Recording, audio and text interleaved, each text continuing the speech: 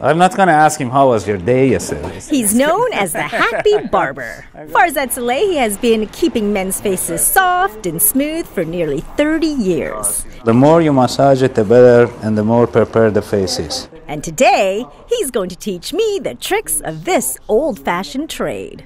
You never shave against the growth. I'm going with the growth. So if you go against it, then it will. Oh, it will bleed.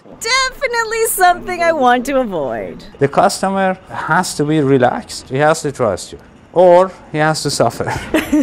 Trust and suffering is what my client I'm nervous. is used to. I'm not nervous of um, Farzad, but I'm kind of scared of him. Reinforced after 10 years of marriage. She's gonna do fine. I don't know if he's gonna do fine. but- With the confidence boost from my teacher, I start off strong. You're not very gentle.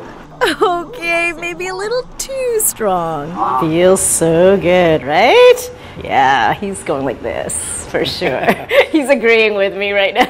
now is the scary time. I mean, you look at his eyes. With his head in my hands, I carefully remove each bristle of his beard, one gentle stroke at a time, Just beautiful. while embracing the positive feedback. No, no, not that way. Not that. Not that way, not that way. No, be careful. Oh. You're hammering it. Okay, Yeah. sorry. And keeping my cool. This is very scary. A shave that usually takes Farzad four minutes takes me close to an hour. But my precision and patience pays off. See, he's smiling. Yes. That's relief. And, and the finished product, pièce de resistance. Not bad. this is great.